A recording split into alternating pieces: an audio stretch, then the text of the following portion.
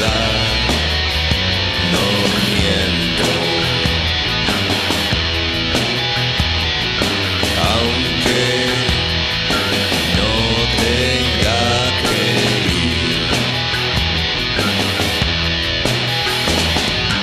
todo lo que siento.